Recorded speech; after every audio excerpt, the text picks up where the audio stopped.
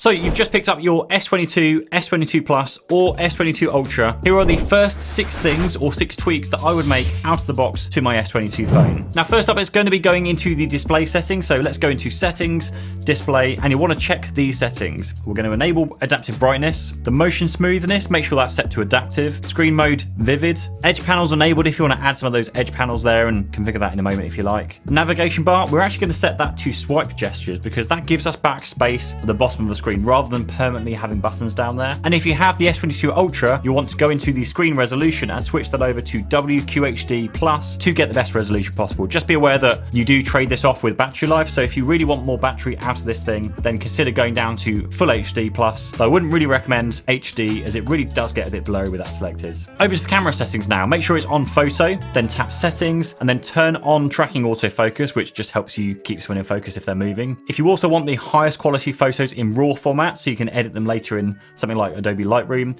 Then go into picture formats and enable RAW in there.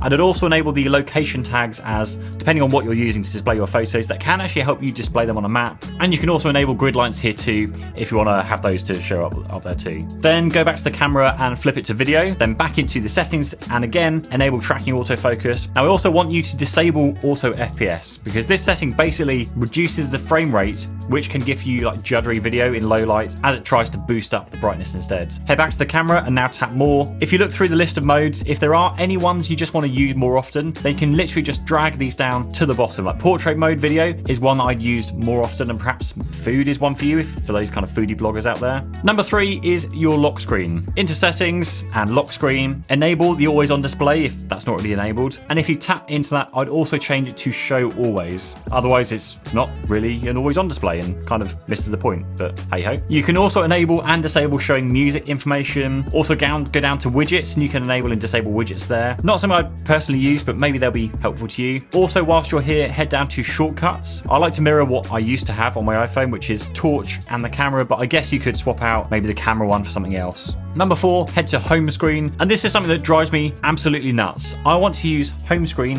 and apps because it's clean. It takes away all my apps away and I then swipe up to get to my app drawer.